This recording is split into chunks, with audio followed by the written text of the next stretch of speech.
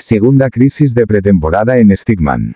Enin Altan Dusiatan y Elsin Sangun no querían.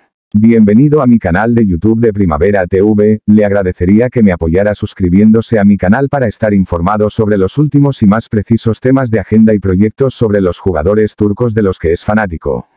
Se supo que hubo una crisis antes de la nueva temporada en Stigman, cuyo escenario se inspiró en una historia de la vida real. Aquí están los detalles sobre esa crisis que afectará el curso de la serie, Stigman, que tiene un escenario creado a partir de la historia real del paciente del famoso psiquiatra Gulseren Budeyoglu, dejó su huella en la última temporada. La serie, en la que participaron actores famosos como Enin Altandusiatan, El Sinsangu y Sedef Abchi, atrajo la atención de la audiencia en poco tiempo y despertó la curiosidad con su historia. Si bien se trataba de qué sucederá en la segunda temporada de Stigman y qué sucederá entre Tamer y Peri, desde el Backstage surgió información importante. El periodista Birsen Altuntas escribió que estalló una crisis antes de la segunda temporada de la serie y que el resultado de esta crisis afectaría directamente a la nueva temporada. Se supo que hubo una crisis antes de la nueva temporada en Stigman, cuyo escenario se inspiró en una historia de la vida real. Aquí están los detalles sobre la crisis que afectará el curso de la serie. Se supo que había un nuevo desarrollo en Stigman que llamó la atención con su historia y elenco.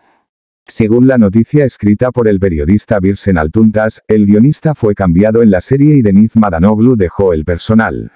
Según la información proveniente del Backstage, esta salida fue provocada por las objeciones de Enin Altan Dusiatan y el Sinsangu. Dusiatan quería que las nuevas escenas no fueran convincentes en la serie y quería que se hicieran cambios.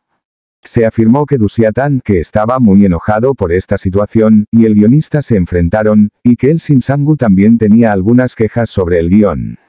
Se afirmó que la historia cambiaría por completo en la nueva temporada de la serie tras el cambio de guionista.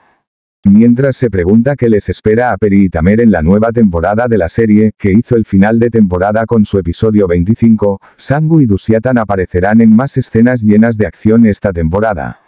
Otro reclamo sobre el Stigman cayó en la agenda como una bomba. Según la información obtenida, en Altan Dusiatan planteó una condición para la serie, que no obtuvo muy buenos resultados en los ratings. Dusiatan declaró que aceptaría la oferta de la nueva temporada si la serie continuaba al menos hasta la víspera de Año Nuevo. Gracias chicos por ver el vídeo hasta el final.